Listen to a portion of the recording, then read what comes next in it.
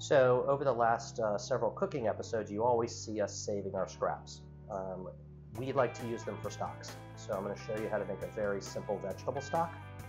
So over the last several days, I've been putting my scraps of onions, celery, carrots, garlic, um, and I have some parsley as well. I'm going to go ahead and put that on the stove uh, with some water. I'm going to bring it up to a boil. Once it comes up to a boil, I'll turn it down to a simmer. And then when it's uh, at 50%, um, it's done. So we have our pot of water. I'm going to add my vegetables.